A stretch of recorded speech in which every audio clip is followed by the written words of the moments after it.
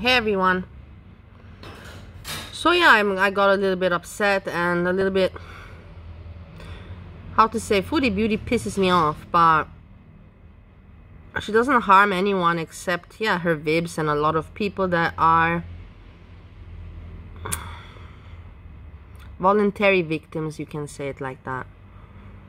But these old men that I've seen, that YouTube lets them all have a channel and I don't know there should be regulations. Like I know Facebook and people have put Facebook down. No privacy. They're using your data. They're using this and that.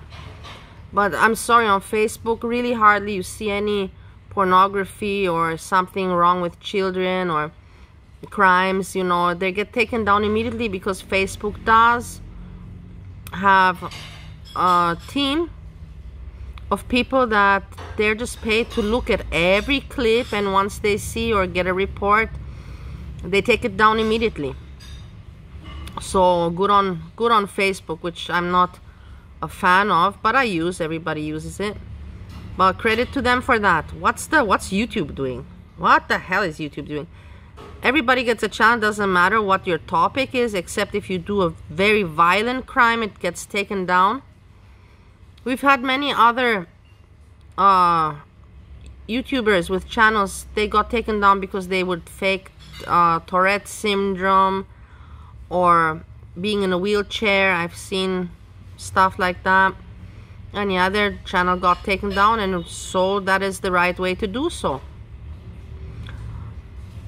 But then again, you had, I have a, I'm going to post the link of my video where I made a a clip about a show that I like to watch. Best food review show ever.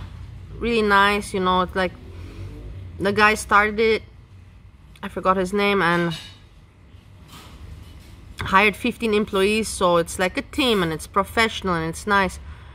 And uh, YouTube decided to demonetize him because uh, some people found the foods of certain cultures offensive. So there they react, but then when you show old men with women that are 40 years younger, and even saying how they're abusing the American system by living off social security and, and spending it in another country and making YouTube money, with that they don't close their eyes? Wow, wow. And Foodie Beauty with her lies and her scams and abusing uh, YouTube viewers. Wow my question is that I know YouTube I don't know I'm just I've just learned about it during the pandemic but I know that YouTube makes money through commercials so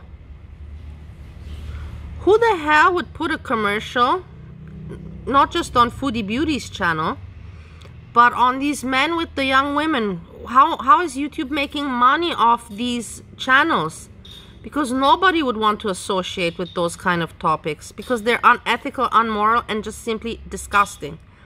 If somebody has some information about this, please write me a comment and uh, clarify it to me.